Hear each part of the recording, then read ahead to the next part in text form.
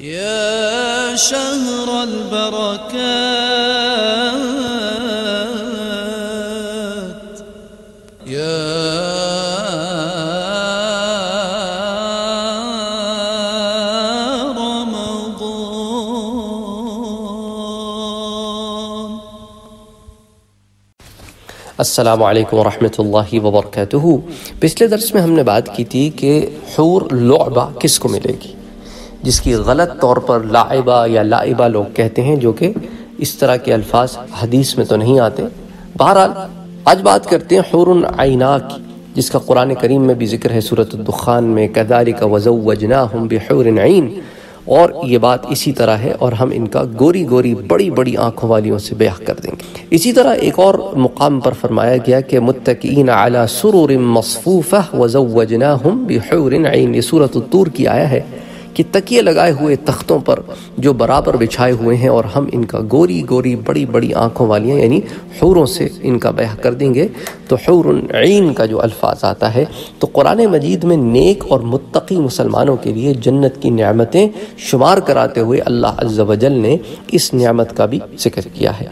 इसी तरह सूरतुल्वाक़ में आता है, वह हूरन के अमसाल मखनून और इनके लिए गोरी गोरी बड़ी आँखों वाली औरतें होंगी। मुराद हूरें हैं, जैसे हिफाजत से पोशीदा रखा हुआ मोती। तो हौर जो है वह हौरा की जमा है। और हौरा इस औरत को कहते हैं, जो जवान भी हो, और हसीन व जमील भी हो, गोरे रंग की भी हो सिया आँख वाली भी हो, और आइन जो है वो आईना की जमा है और आईना उस औरत को कहते हैं जो औरतों में बड़ी आँख वाली हो। ये हादियुल अरवाह में इसकी तफसीलात आती हैं। बहरहाल, इमाम तबरानी ने हज़रत अबू उमामा की रिवायत से बयान किया कि हुजूर सल्लल्लाहु अलैहि वसल्लम ने फरमाया कि हुरनईन को ज़ाफ़रान से बनाया गया है। और इस पर और तफसीलात मैं आपको पहले दे चुका हूँ। मुख्तसरन कुछ बातें आपके सामने फिर से ज़िक्र कर रहा हूँ। और हुर के बारे में और तफसीलात भी आती हैं, पर हमारा यहाँ मकसद ये जानना है कि यह हूर आखिर मिलेगी किस। और साथ साथ इस बात को भी मैं आपको बताता चलूँ हज़रत अब्दुल्ला इबन अब्बास, हज़रत अनस मालिक और हज़रत अबू सलमा बिन अब्दुलरहमान जो मशहूर ताबई हैं और हज़रत मुजाहिद जो मशहूर ताबई हैं, ये फरमाते हैं कि अल्लाह ताला के दोस्त के लिए ऐसी बीवी है जिसको आदम हवा यानी इंसान नहीं जना, बल्कि इसको ज़ाफ़रान से पैदा किया गया है। किसी इंसान ने से नहीं जना, ये ख़ास जन्नत में तख्लीक की गई है, और वो जन्नत की तख्लीक है माँ बाप के वास्ते से पैदा नहीं हुई। हादियुल अरवाह की सफ़ा 303 पर इसकी तफसील ये आती है कि ये ऐसी बीवी है जिसको मिलेगी, उसको जिसको, जो अल्लाह का दोस्त होगा। जो अल्लाह का वली होगा। इसी तरह हज़रत इबन अबिल हवारी रहमत फरमाते हैं कि हुरनईन को महज कुदरत खुदाबंदी से कलमा कुन से पैदा किया गया है। जब इनकी तख्लीक पूरी हो जाती है तो फरिश्ते इस पर खैमा नस्ब कर देते हैं, यानी कि वो बिल्कुल अब बाहर से कोई अंदर नहीं आ सकता और वो अंदर से बाहर नहीं आ सकती। यहाँ तक कि जन्नती शख्स जन्नत में दाखिल हो जाएगा और फिर वही वो पहला शख्स होगा जो उसको देखेगा।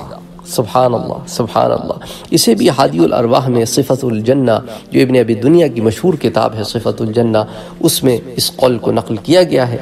हुजूर अकरम सल्लल्लाहु अलैहि वसल्लम से इसकी तख्लीक के बारे में पूछा गया तो आपने फरमाया कि ये तीन चीज़ों से पैदा की गई है, और ये रिवायत तस्करतुल्कुर्तबी में और इमाम तिरमिज़ी के हवाले से आती है, और वो तीन चीज़ें क्या हैं कि इसका निचला हिस्सा तो मुश्क, यानी कस्तूरी का है, और दरमियानी हिस्सा अंबर का है, और ऊपर का हिस्सा काफूर का है। इनके बाल और अबरू सिया हैं, नूर से इनका ख़त खींचा गया है। अल्लाह हुजूर अकरम सल्लल्लाहु अलैहि वसल्लम से एक और रिवायत आती है कि मैंने जब्राइल अमीन से पूछा और कहा कि मुझे बताओ कि अल्लाह ताला ने हुरनईन को किस तरह तख्लीक फरमाया है। तो उन्होंने फरमाया, या मोहम्मद, अल्लाह ताला इनको अंबर और ज़ाफ़रान की शाखों से पैदा फरमाता है। फिर इनके ऊपर खैमा नस्ब कर दिया जाता है। सबसे पहले अल्लाह ताला इनके पिस्तानों को खुशबूदार गोरे रंग की कस्तूरी से पैदा करता है। इसी पर फिर बाकी बदन की तामीर होती है। इसे भी तस्करतुल्कुर्तबी में बहवाला तिरमिज़ी बयान किया गया है। इसी तरह और भी मुख्तलिफ़ तफसीलात इनके बारे में आती हैं, इनकी तख्लीक के बारे में आती हैं, और वो भी मैंने आपसे शेयर किया कि अलिया अल्लाह के लिए अल्लाह ताला की तरफ़ से एक ख़ास इनाम है।